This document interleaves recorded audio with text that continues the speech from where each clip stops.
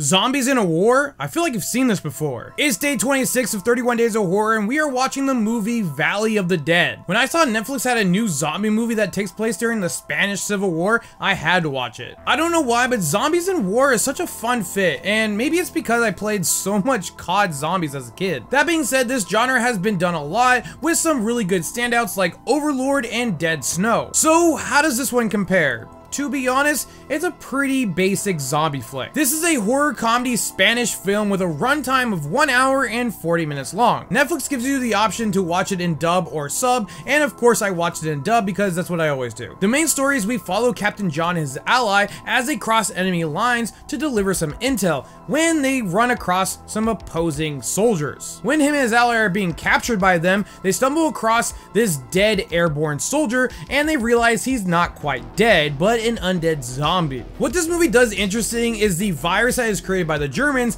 is actually contained in some type of blue gas grenade. This turns pretty much anybody who inhales this gas into zombies. These zombies are what I like to call bullet sponges. They can take round after round and not go down and they only die to a gunshot to the head. Also, the blood in this movie is kind of weird. Like the actors who are playing the zombies have blood on them, but anytime they get shot, it's just blood mist. It makes me feel like I'm watching old YouTube videos of Corridor Digital, seeing a bunch of blood mist shoot off of people. A lot of times it's mostly digital or just practical blood mist, but I don't know why we don't see any liquid or any type of blood interact with the environment around them. Like I said before, this is a horror comedy and it tries to be funny a lot in this movie, but I just found myself only chuckling a few times. If you're going to be campy, then you need to full send it and not half-ass it like this movie does. I just feel like they could have had a lot better jokes and done some really funny gags, but they just didn't. They also could have given us an interesting cast of colorful characters, and while you think think they do with some characters with weird names like